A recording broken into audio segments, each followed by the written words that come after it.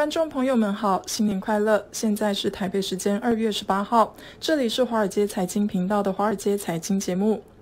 美国国务卿布林肯本月十七号对联合国安理会表示，美国打算在这个月底之前向世界卫生组织支付超过两亿美元的经费。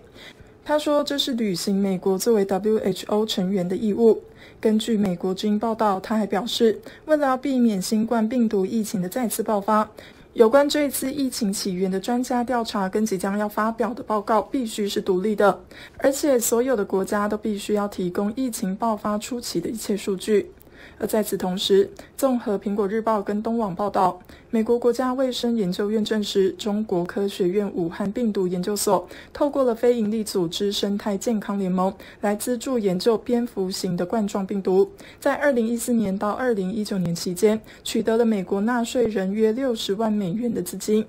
此外，该联盟主席达扎克是世界卫生组织在二月到访中国调查代表团的唯一美国成员。他向白宫表示，应该要盲目接受世卫的报告，相信病毒不太可能由武汉病毒研究所来泄露。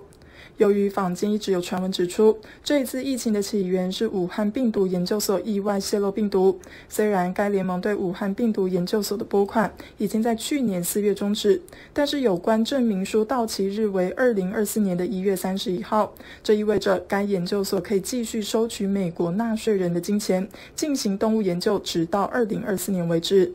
目前有独立监察组织呼吁政府不应该再资助生态健康联盟，并展开对于这个组织的独立调查，来确保他们资助在中国进行的动物研究是否跟疫情有关。另一方面，生态健康联盟最新从美国国家卫生院获得七百五十万元的拨款，将用作建立新兴传染病研究中心。大扎克强调，新的拨款将不会用在任何中国的研究当中。在拜登政府权衡对华商业、贸易跟科技政策之际，美国全国商会十七号公布的一份研究报告指出，美国如果跟中国全面脱钩的话，美国将会付出令人不舒服的高昂代价。美国的一些重要行业损失将会很巨大。反之，报告认为，针对性的跟中国部分脱钩，才可以更好的保护美国的安全跟利益。美国之音报道这一篇题为《理解脱钩宏观趋势跟行业影响》报告，从贸易、投资、人员交流跟研发活动等四个方面来探讨美中全面脱钩可能会给美国带来的巨大损失。贸易方面，报告假定将百分之二十五的税率扩大到涵盖美中双向贸易的所有物资，到二零二五年，美国的 GDP 总额将会损失一千九百亿美元。从投资的角度来说，报告指出，因为脱钩，即便是减少一半在中国的直接投资，美国投资者每年将损失两百五十亿美元的资本收益，一次性的整体损失将会高达五百亿美元。在人员交流的方面，报告指出，新冠疫情已经显示出中国游客的流失跟中国学生教育支出的减少对于美国经济的影响。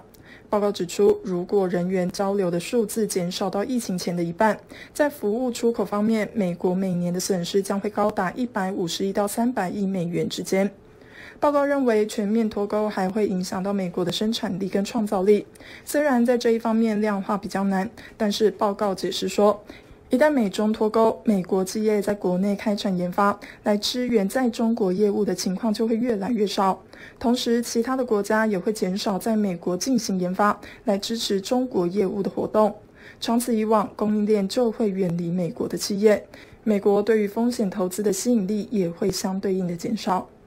荣鼎集团总裁荣大聂在新闻发布会上特别指出，这些数字纯粹从商业角度来出发，并没有将国家安全给计算在内。而任何一个好的策略，当然应该要包括对于国家安全的考量。他说，有针对性的出口管制跟其他工具，可以有效的解决狭窄的跟合法的国家安全问题。美国全国商会主席跟美国全国商会亚洲事务高级副总裁傅瑞伟，跟美国全国商会大中华区主任王杰，在报告的前言当中，敦促拜登政府应该要尽快的确定哪一些区域不会对国家安全构成威胁，将其开放。他们强调，希望当局可以采取平衡且理性的方法来对待美中关系，意识到拥有十四亿人口的中国市场重要性，同时也可以管控到中国政治跟经济模式不同的现实。英国发布最新的香港营商指引，由过去形容香港为国际金融中心，降格称为区域枢纽，并且删除对于双方关系积极互利等描述，也删去了英国跟香港特区政府享有正面跟前瞻性的关系这一句，同时不再直接描述香港享有高度的自治。综合媒体报道，英国外交联邦及发展事务部对上一次更新香港营商指引已经是二零一九年八月的事情。当时对于香港基调大致正面，并且提及二零一九年六月有大型的示威，呼吁英国公民应该要避开这些地段。而这一次的修改主要关于三个面向，首先是对于高度自治的表述。在过去的指引当中，英方一直描述香港的主权属于中华人民共和国，并指出香港在外交跟防务以外的其他管制范畴，像是经济跟贸易，享有高度的自治。但是这一次的新指引却不直接描述香港享有高度的自治，而是改为中英联合声明当中表明香港在其他的事务享有高度的自治。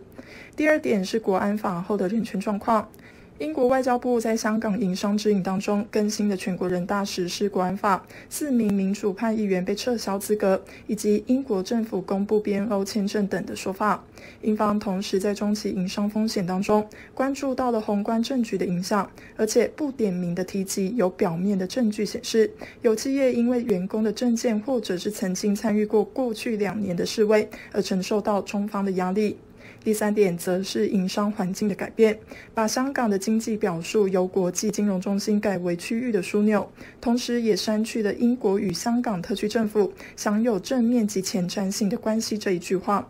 但是相关的指引在反洗黑钱这一栏当中，却又加入了作为国际金融中心，香港仍然是不合法以及合法的金融目标。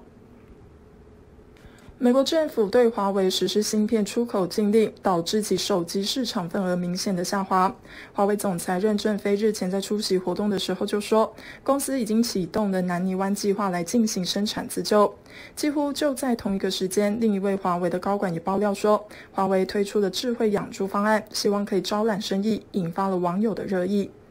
自由亚洲电台报道，华为总裁任正非上周出席活动的时候透露，美国制裁已经有一年多的时间，华为有更多克服困难的手段，并且正在开展南泥湾的计划进行生产自救，在煤炭、钢铁、音乐、平板、智慧屏等领域都有很大的突破，因此华为不靠手机的业务也可以存活。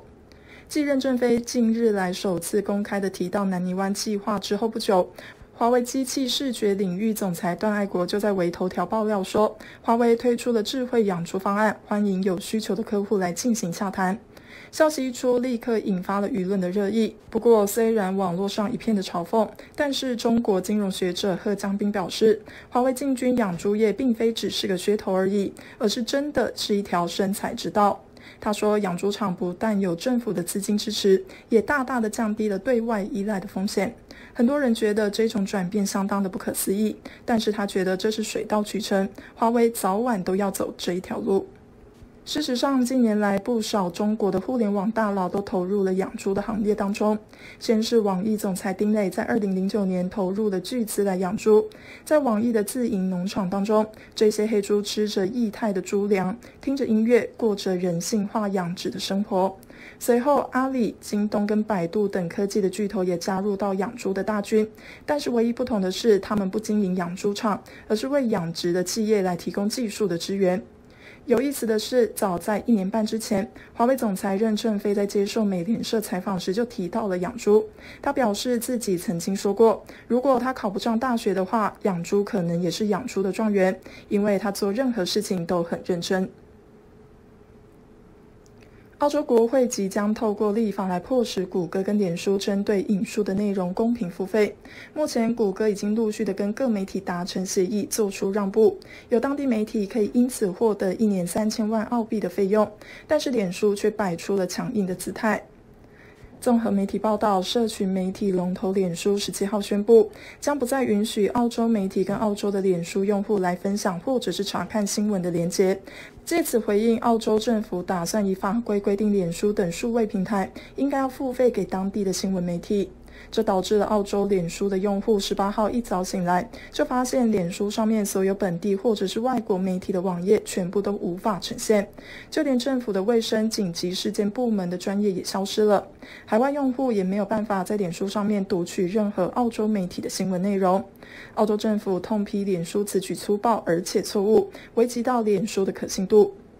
对此，澳洲财长弗莱登伯格表示，脸书事先并未通知要取消用户分享新闻连接的能力，痛斥脸书相当的粗暴。他随后表示，正持续的跟脸书协商。十八号上午已经跟脸书执行长祖伯格通话三十分钟，气氛和谐而且极具建设性，强调政府希望他们持续的在澳洲来营运，但是也希望他们为原生的内容来付费。《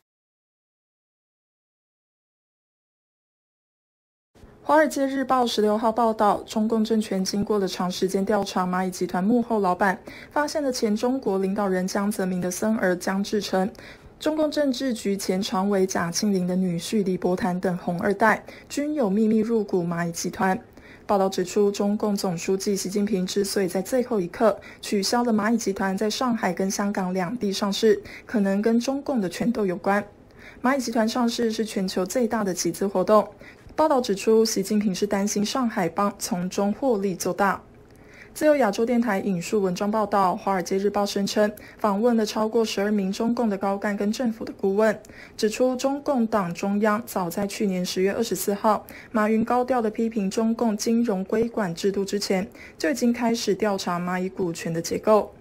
据报道，中国央行的副行长潘功胜同一天发言，指出个别非金融企业盲目的向金融业来扩张，股权结构跟组织架构复杂，甚至有交叉持股、虚假注资、套取巨额资金等问题。报道引述央行知情人士指出，潘功胜虽然没有点名，但是他说的就是蚂蚁集团。报道又指出，蚂蚁许多股东都是红二代，其中包括了江泽民的孙儿江志成。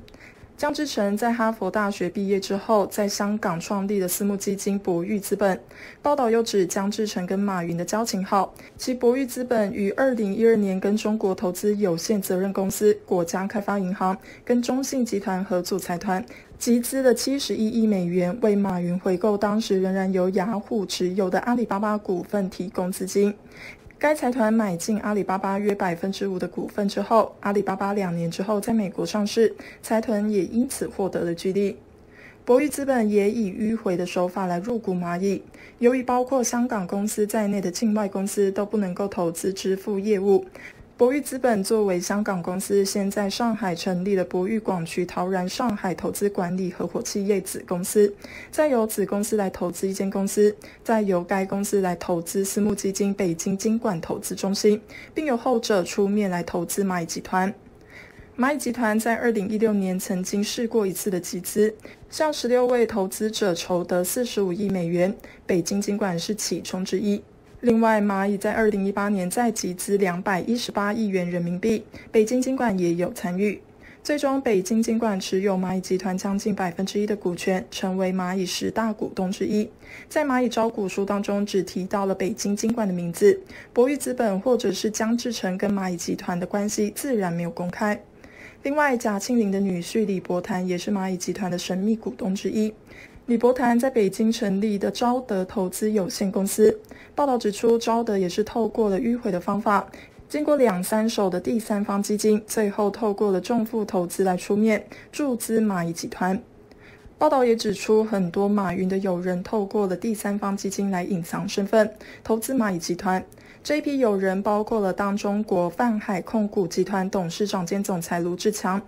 巨人网络董事长史玉柱以及复兴集团董事长郭广昌，另外还有人透过了家人间接入股，像是万象控股有限公司副董事长肖峰，由妻子黄荣平出面入股致富投资中心，再由该公司来入股蚂蚁集团。报道指出，马云为了要让蚂蚁顺利的上市，特别邀得中国退休基金以及中国投资有限责任公司入股蚂蚁。结果去年夏天，蚂蚁在短短一个月内获得多个监管机构批准上市的申请，但这上市计划依然在最后一刻被习近平给叫停。以上就是本期华尔街财经的主要内容，希望您喜欢并继续的关注华尔街财经频道的其他节目。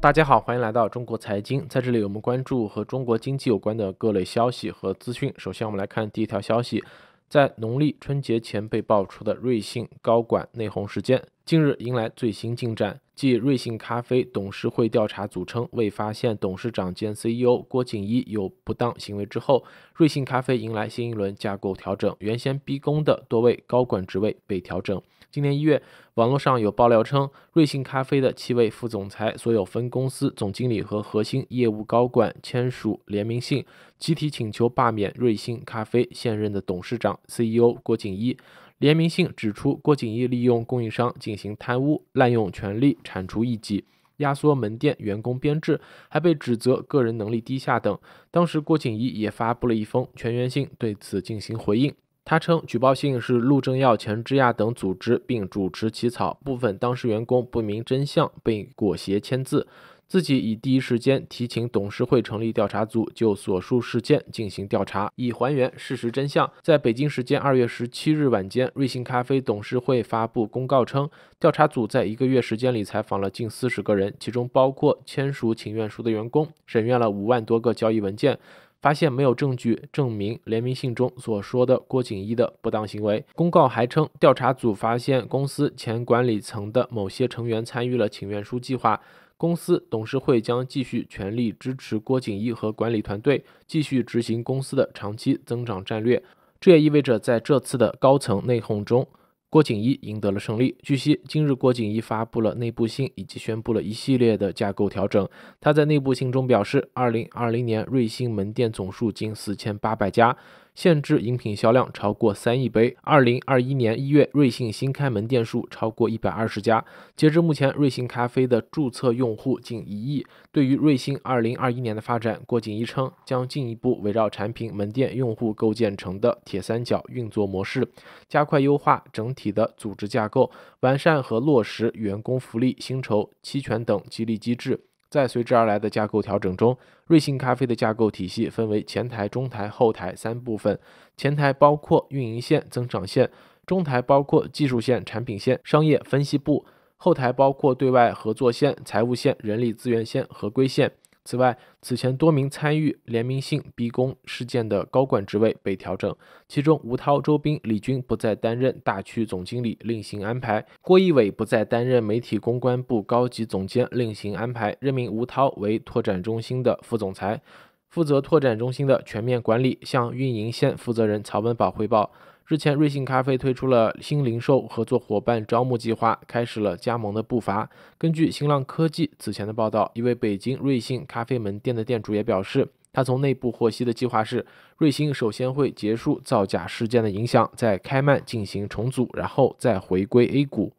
我们来到下一条消息，美国政府在二零二零年九月曾出售一幅香港豪宅地块予以恒隆地产，但交易因涉及中美两国外交事宜而暂停。恒隆地产发言人在北京时间的二月十八日确认，卖方对该物业的出售已获中国政府的同意，交易有望顺利达成。恒隆地产发言人回应财新记者查询时表示，很高兴卖方已完成了其外交义务，并获得中国政府的同意。恒隆地产正与卖方处理完成事宜，并将于合适的时间对外公布。在二零二零年五月底，美国驻香港及澳门领事馆招标出售其持有超过七十年的香港南区豪宅物业。同年九月，恒隆地产确认以二十五点六六亿港元的交易作价中标该豪宅物业，并表示。此次购地是公司对香港前景投下信心的一票。美国政府在二零二零年九月曾出售一幅香港豪宅地块予以恒隆地产，但交易因涉及中美两国外交事宜而暂停。资料显示，上述交易的物业位于香港寿辰山寿山村道，由美国政府在一九四八年购入并持有至今。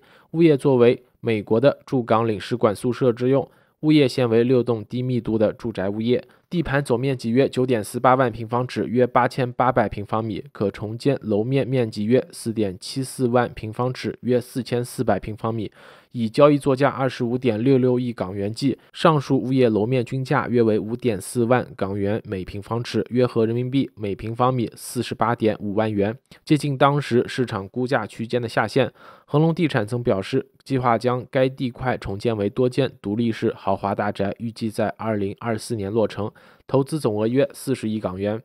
我们来到下一条消息，春节期间，新华社出动了自己的航拍，拍摄了位于中国第三大岛，也就是崇明岛上的鬼城。鬼城位于长江入海口附近，已经建好了一大片住宅区，还在继续盖房子，离入海口也只隔了一个堤坝。近年来，新华社的记者多次走访位于崇明岛上的绿地长岛项目。在过去六年里，项目沿长江而建，全长超过十公里，占地总面积超过十五平方公里，建设总量和楼宇高度在二零一六年底被认为违反长江大保护，并与建设世界级生态岛的总体要求不符。这个就是位于崇明岛的绿地长岛项目。绿地长岛的开发商是重合置业。重合置业是世界五百强绿地控股旗下的公司。绿地长岛号称投资两千亿，规划面积二点三万亩，房源大概预计有十万多套。从名字上看，估计是想跟纽约长岛一较高下。在这个项目里，有别墅，有洋房，也有十七层的高层。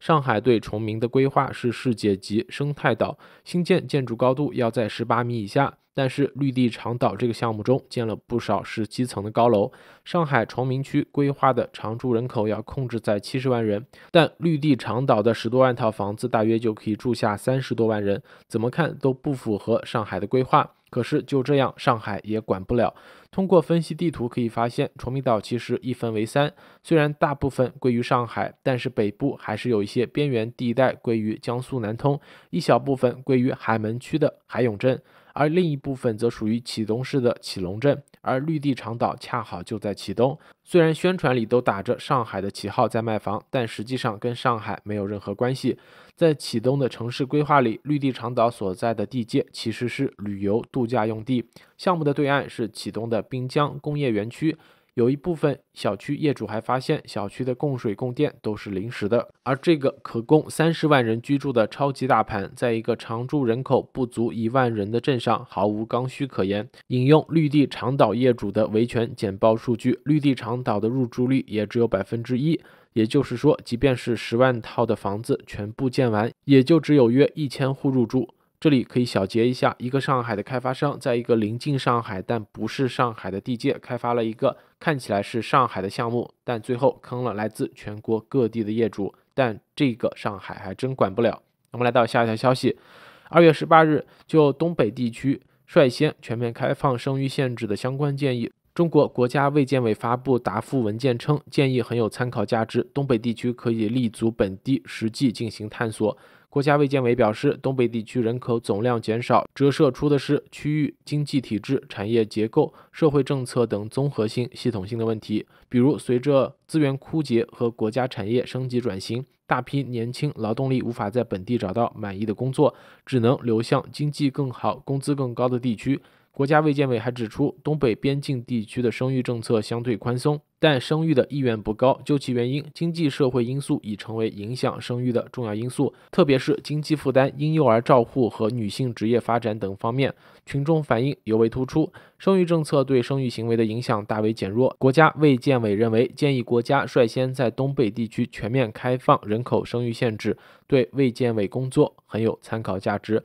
东北地区可以立足本地实际进行探索，组织专家进行研究，深入研判全面开放生育限制对当地经济增长、社会稳定、资源环境战略、基本公共服务等方面的影响，做好政策调整之后人口变动测算，研究实施全面开放生育政策需要配套出台的文件，评估政策变动的社会风险等等，在此基础之上提出东北地区实施全面生育政策的试点方案。此外，国家卫健委还表示，已同国家发展改革委员会组织开展关于支持社会力量发展普惠托育服务专项行动，通过中央预算内投资支持城企合作。增加普惠托育的服务供给。我们来到下一条消息，经历了二零二零年的停工之痛之后，中国电影行业迎来了最强的春节档。截至北京时间的二月十八日零时，国家电影专资办数据显示，二零二一年春节档累计票房达到了七十七点九四亿元，刷新了中国影史春节档票房纪录。二零二零年由于疫情突袭，春节档哑火；二零二一年春节档则因就地过年等政策爆火。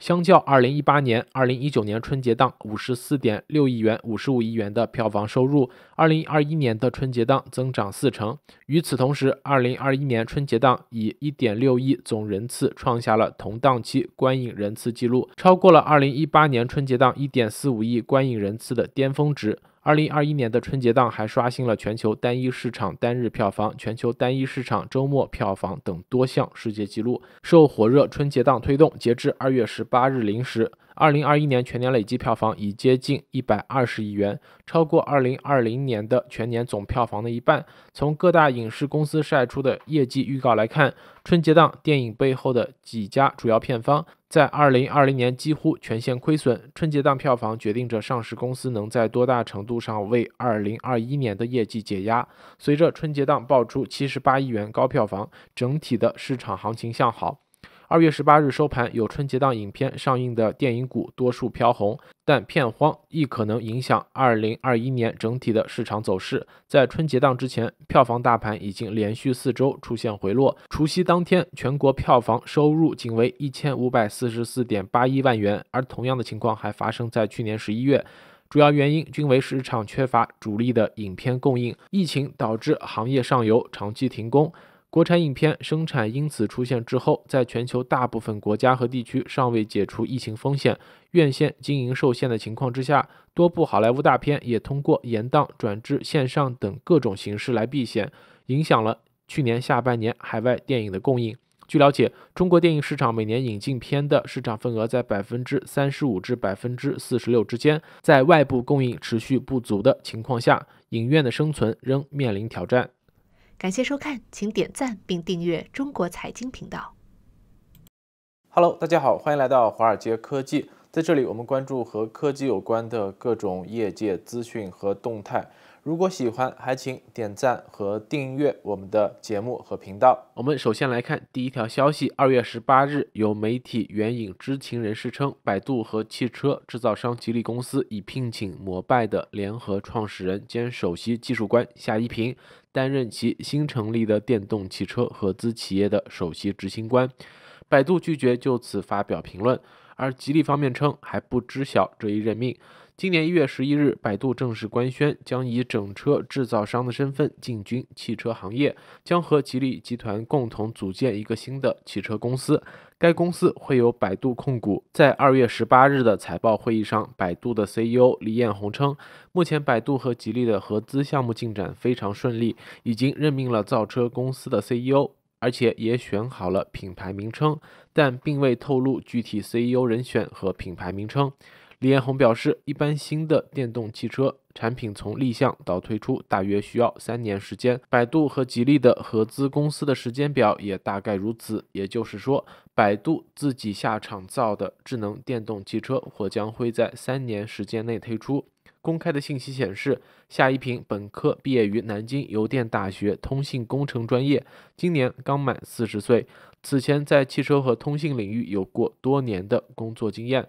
他曾任菲亚特克莱斯勒亚太区智能车联事业部负责人。在进入汽车行业之前，夏一平在通信行业工作过五年，负责过软件开发、架构、通信系统架构，并从事过产品规划和市场等工作。二零一五年一月，夏一平作为摩拜联合创始人兼首席技术官创办摩拜单车，直至二零一八年该公司被美团收购。随后，夏一平离职。但具体去向并未披露。在参与摩拜创办前，夏一平还有过电动车的创业经历。二零一四年上半年，他曾联合通用汽车中国科学院院长杜江林、易道创始人周航做了一个开源汽车项目 Open Car Lab，但后来该项目夭折。我们来到下一条消息，根据印度新德里的报道，二月十八日，有消息人士称，苹果正试图参与一项促进印度电脑产品出口的新计划。印度政府和业内的消息人士称，这是将 iPad 平板电脑制造带到这个南亚国家计划的一部分。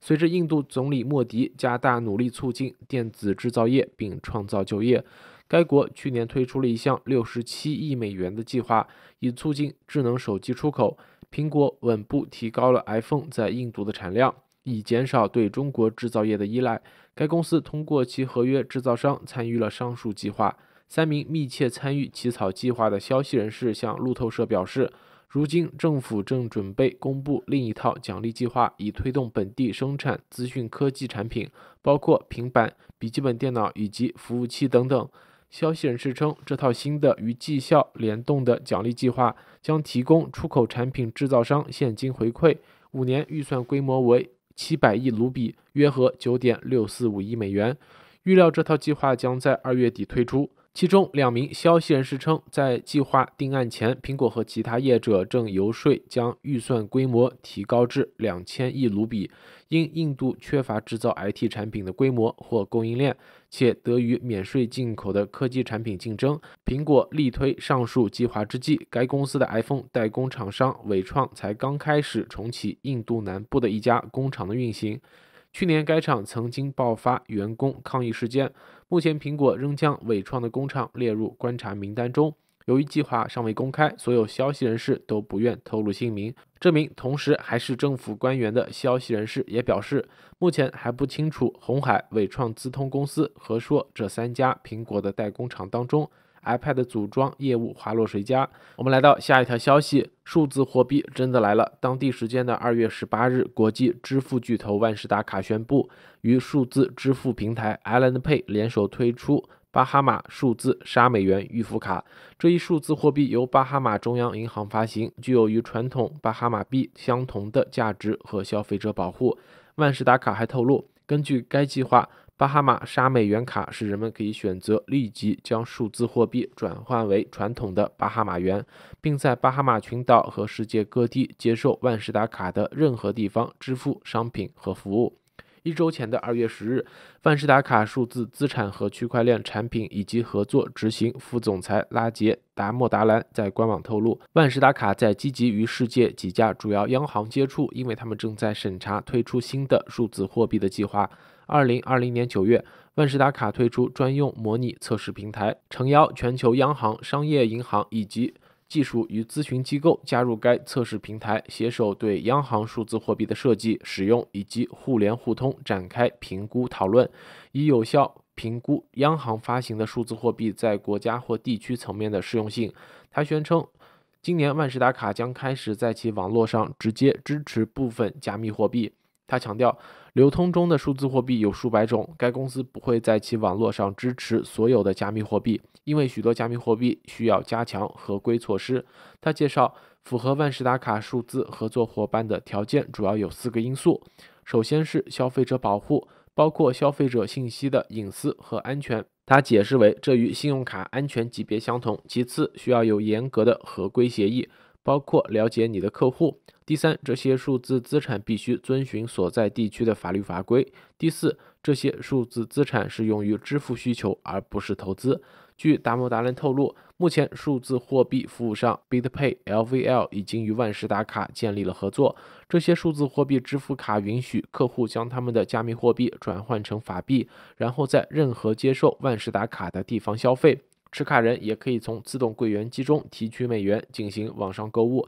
大猫大人解释，这些加密货币并不能直接在万事达卡网络清算，而是通过万事达卡的加密货币伙伴将这些数字资产转换为传统法币，然后才能通过万事达卡进行网络清算。值得注意的是，无论是 YLX、BitPay 还是 LVL，均为持有金融业务牌照的数字服务商，他们都受到当地监管部门的约束。我们来到下一条消息。美国大部分地区遭遇的恶劣天气，导致了一些半导体工厂的闲置产能，这可能加剧已经迫使汽车制造商在部分工厂缩减产量的芯片短缺问题。全球最大芯片制造商之一韩国三星电子在德克萨斯州奥斯汀运营两座工厂。该公司的一位发言人说，当地政府已于周二要求暂时关闭这两座工厂。这位发言人还表示，三星预计尽快恢复生产，但仍在等待电力公司就芯片制造商何时可以恢复工厂运营提供指引。